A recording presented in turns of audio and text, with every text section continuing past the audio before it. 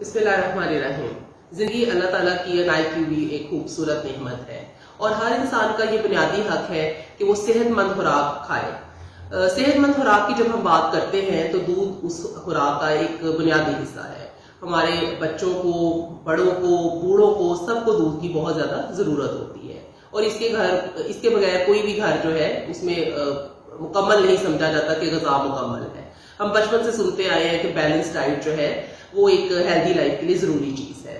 तो balance diet की भी बात जब हम करें तो उसमें भी जो दूध है, उसकी एक इंपॉर्टेंट हैसियत है।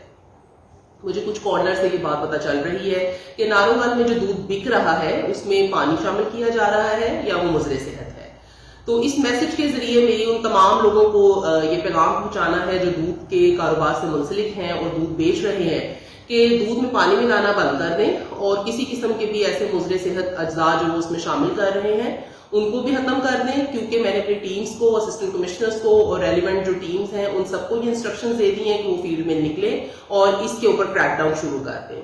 मैं खुद भी इसमें क्रैकडाउन करूँगी और जाकर मिल्क को दूध को शॉप्स के ऊपर या जहाँ कहीं भी कंटेनर्स के थ्रू ये मूवमेंट कर रहा होगा मिल्क तो मैं आ, मौके पर जाकर खुद इन चीज़ों को देखूँगी और किसी किस्म के अडल्ट्रेशन को किसी किस्म की कोताही को इसमें बर्दाश्त नहीं किया जाएगा।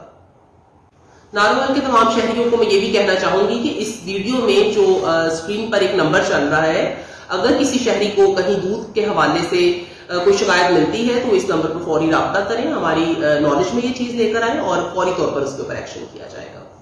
आप सबका बहुत शुक्रिया।